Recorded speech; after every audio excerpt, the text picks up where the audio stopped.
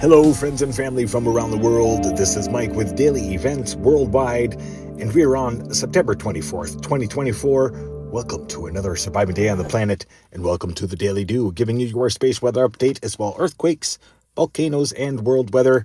Always starting out here looking at our sun for the past two days, as we've seen two notable M class solar flares, and as well pointing out the plasma filaments we've been keeping an eye on. No filament eruptions yet, but large equatorial plasma filament developing there in the outgoing region. Looking incoming right now, cresting limb. This is where we saw the strong M class solar flare, and as well another M class solar flare from pretty big sunspot regions cresting into view. Looking at outgoing here, this is where there is a large plasma filament swirling around the equatorial region as you can see, lifting from the surface there, probably about 13 to 15 Earths tall, big solar tornado on the sun. Looking at multispectrum, pointing out the last 48 hours of events, did have a couple coronal mass ejections to uh, add to our prediction spirals.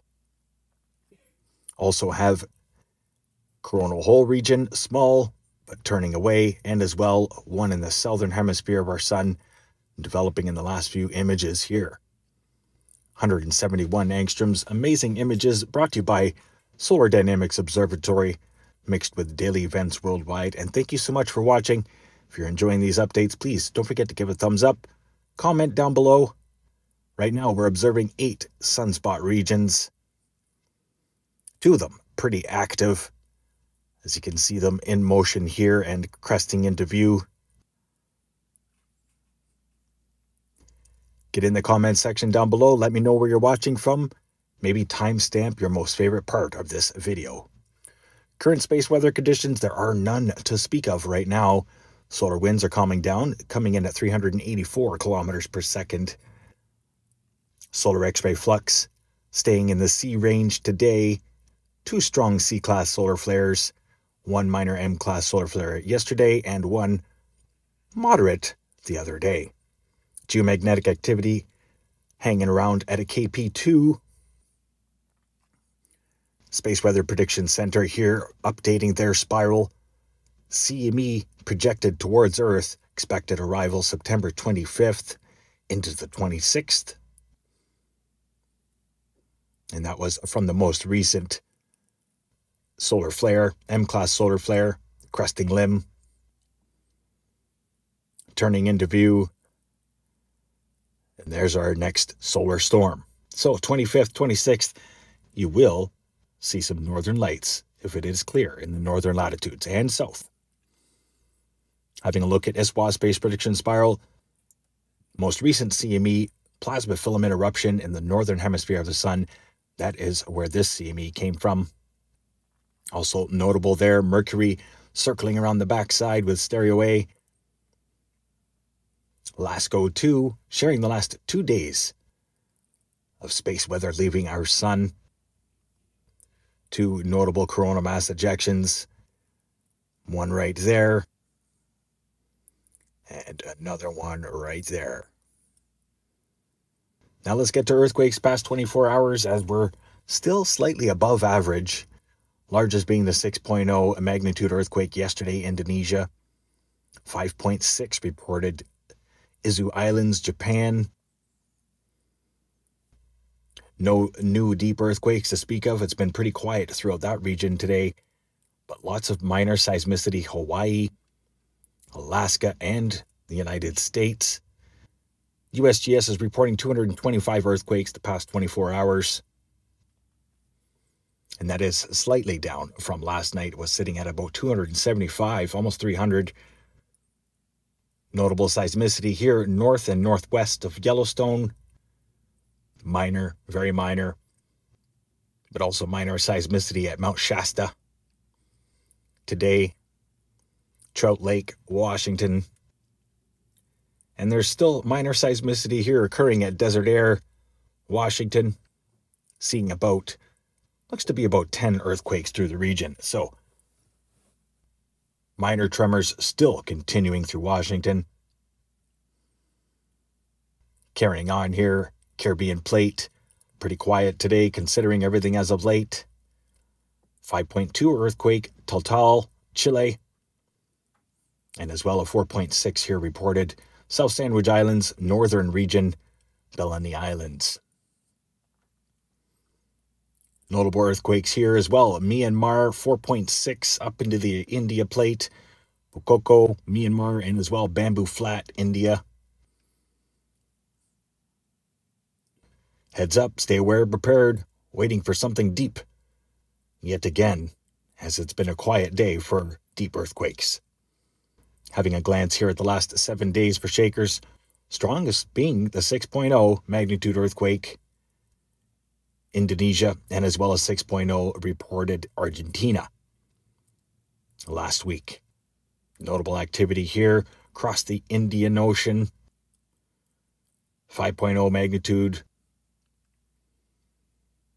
Kilauea still erupting. Still an active 63 volcanoes across the planet. Now let's get to weather here as we're observing Tropical Storm Helena, or sorry, Helene, as it is now just west of Cuba and will be making landfall Florida. Looks like for Thursday into Friday. But we're going to be watching this fast forming storm. Remember, this is where Hurricane Michael, the fastest forming Cat 5 hurricane, formed right here in the same region that Helene is coming through. And the Gulf waters are very warm right now, sitting at about 31 to 32 degrees Celsius. Sea surface temperatures are very warm through the Gulf. Having a look here, satellite imagery showing Hurricane Helene, now a tropical storm, sustained winds of 85 kilometers an hour. But looks like Thursday making landfall Thursday night, late Thursday night, with sustained winds of 185 kilometers an hour gusting up to 225. Category 3 major hurricane for Tallahassee and northern Florida. Heads up and stay safe out there, my friends and family. Please share this channel with your friends and family. Having a look here at Tropical Depression John, as it brought unbelievable amounts of rain through parts of Mexico, strong winds, and look at the forecast models for Hurricane Helene heading right up into central United States. Windy.com showing here forecast models grinding right up into Tallahassee, making landfall Thursday night at about 9 to 10 p.m. Forecast models could change, but look at the size of this thing as it enters into the mainland. Now let's have a look at wind gusts now, as this is going to be a Category 3 storm, packing winds of 185 kilometers an hour. Thoughts and prayers go out to everybody who will be affected. Batten down the hatches in Tallahassee and northern Florida. Early models are showing making landfall Thursday evening, most likely a little bit earlier than what is forecasted here. Observing winds in the northern hemisphere, low pressure systems bring rain, and we've got some pretty strong systems swirling around both the northern and southern poles. Watch for extreme weather through parts of Eastern Europe in the long range, and as well through the United States and Canada, Eastern Canada. Big low pressure system there. Long range forecast showing the same thing for the BC coastline and Alaska. Strong low pressure systems, very windy. And there is our next tropical system, long range forecast showing it forming there east of the Caribbeans. Observing the southern hemisphere, watch South Africa in the long range forecast here. Looks to be about for the weekend.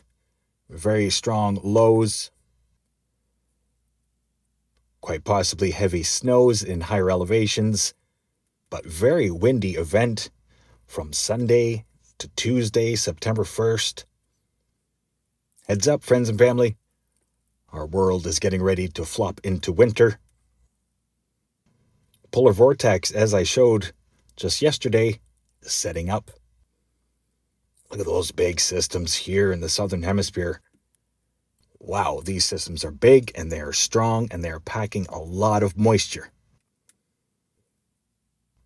things have definitely changed over the past seven years broadcasting here with daily events worldwide. Should be an interesting outro to the Atlantic hurricane season and as well, most likely, Pacific cyclone and typhoon season as well. Keep an eye on things through Southeast Asia and Japan. Much love, everybody, and enjoy. Hope you enjoyed the show. Stay aware and prepared, stay young and have fun, and get your daily due. Bye now.